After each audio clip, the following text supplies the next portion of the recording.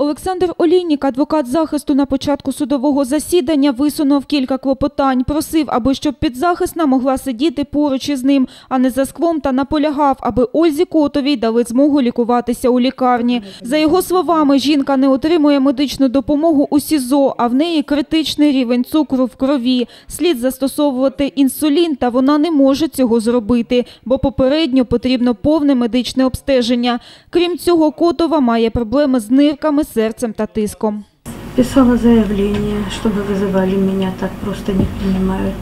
Вот. А когда было совсем плохо, ну, как это говорят, там сорвали волну, приходили врачи, ну что, у них нет ни укола, у них нет ничего. Ольга Александровна, скажите, сколько раз вы обращались за медпомощью в медсанчасть? Ну, раз наверное, 15.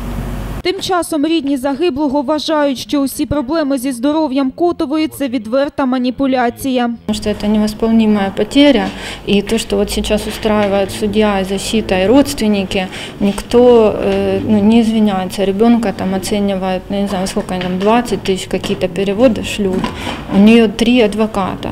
И, а у нас нет возможности даже защищаться и предоставлять аргументы. Однак суддя ухвалила рішення підтримати клопотання та надати обвинуваченій можливість отримати усе необхідне лікування та пройти усі обстеження. Подальший розгляд справи не пройшов без обурення присутньої групи підтримки батьків загиблого спортсмена, які не змогли не втрутитися у промову захисту Котової. Вот я согласно Конституции сам себе взял право. Если вы Не надо меня присутствуете просить. здесь, Я говорю, пожалуйста, вот не вы, нарушайте судьи, порядок. доиграетесь до того, что вот то, что вы сейчас творите, Улучшите комбинируете, право. вот, то, что вы комбинируете, просто этих судей на столбах будут вешать, это там серьезно говорю. Вот этими вещами, которые мы сейчас которые бегают по кабинетам взят. Суддя через таке обурення вирішує зробити перерву у засіданні. Після того, як засідання продовжилося, адвокат Котової подає клопотання про зміну запобіжного заходу на час досудового розслідування. Олійник пропонує домашній арешт з 22 до 7 години ранку. А в інший час жінка буде перебувати у лікарні. Він пропонує відстежувати рух Котової за допомогою електронного браслету. З огляду на той факт, що е, у Котової є постійне місце проживання, що вона працювала, що вона е, має позитивну характеристику, прошу вирішити питання про застосування до Котової Ольги Олександрівни 60-го року народження запобіжний захід у вигляді домашнього арешту. Однак у прокуратури з цього приводу заперечення. Слідство вважає, що Котова може втекти та впливати на свідків проти і рідні загиблого юнака.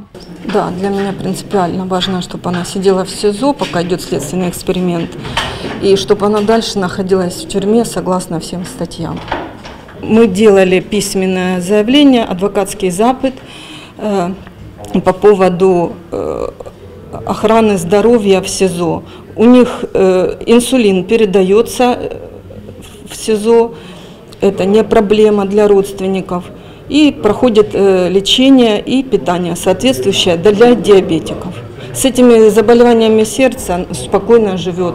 Это нормально для людей в ее возрасте. Тож, вислухавши сторони, суддя ухвалила рішення залишити Котову під вартою без права внесення застави на наступні 30 днів, а у лікарню її возитимуть із ізолятору. Аліна Курвович, Олександр Воробйов, агентство телевідіння новості.